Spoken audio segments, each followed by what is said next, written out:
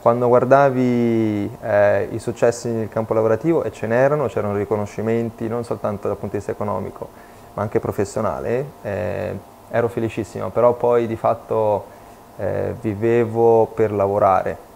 L'Australia ha i pregi e i difetti, non esiste un paese perfetto, altrimenti tutti andrebbero a vivere in quel paese.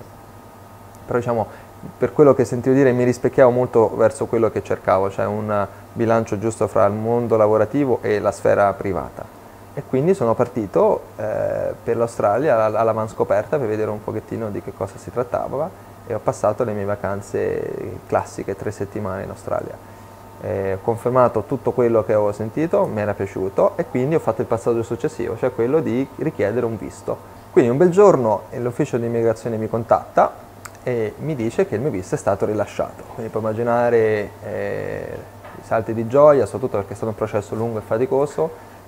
Poi una sera, per puro caso, mi è venuto un flash. Eh, ero pronto a dare le dimissioni al mio datore di lavoro e la mia posizione, diciamo, di carriera molto importante, eh, invidiata da tante persone, per andare in un posto dove non mi aspettava nessuno, non avevo un datore di lavoro che mi aspettava, e non avevo una casa, non avevo niente. E quindi ho realizzato che era un momento, una finestra temporale d'oro della mia vita, a 32 anni, quando questo è successo, per realizzare una cosa che avevo sempre eh, pianificato di fare mai avuto il tempo o l'occasione di fare, o forse anche il coraggio, cioè quello di prendere e visitare il mondo.